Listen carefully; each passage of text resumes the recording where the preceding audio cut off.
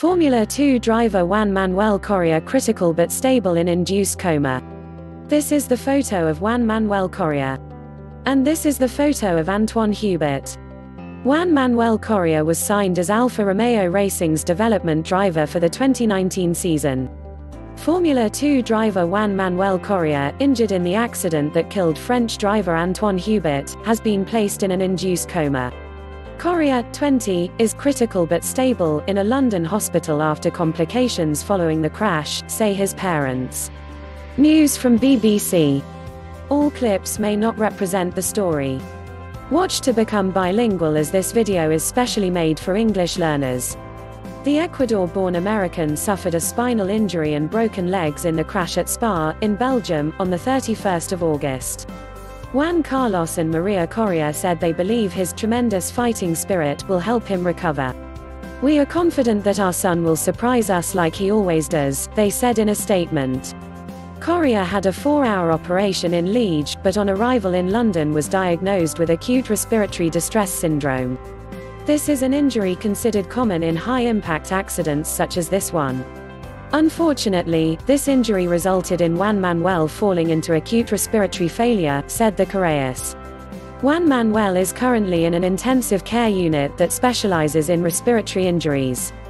At this point of time he is in an induced state of unconsciousness and under ECMO support.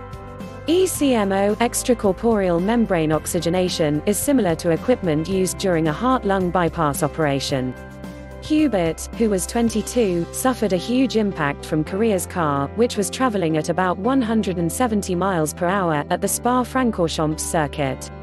The Frenchman was taken to the medical center following the incident and died shortly after.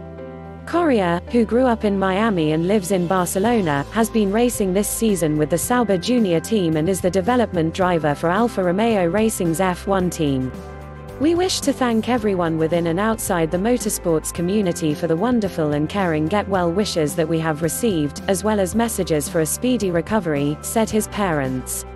We are confident that Juan Manuel will review them all himself once he is back in charge of his social media accounts.